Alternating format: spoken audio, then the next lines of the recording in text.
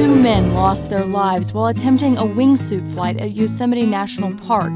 One of the men, Dean Potter, was a well known extreme athlete, famous for his daring climbs and base jumps.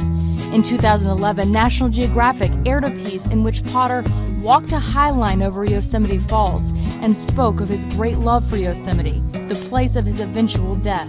Yosemite, it really brings out my creativity. Such a powerful place. There's some sort of amazing energy going on that fuels me. 43 year old Potter even made his home near the park for about two decades. His climbing partner, 29 year old Graham Hunt, also lived near Yosemite. Both were prominent figures in the park's climbing community. The two men were scheduled to make a 7,500 foot jump Saturday. Someone called for help after they didn't return.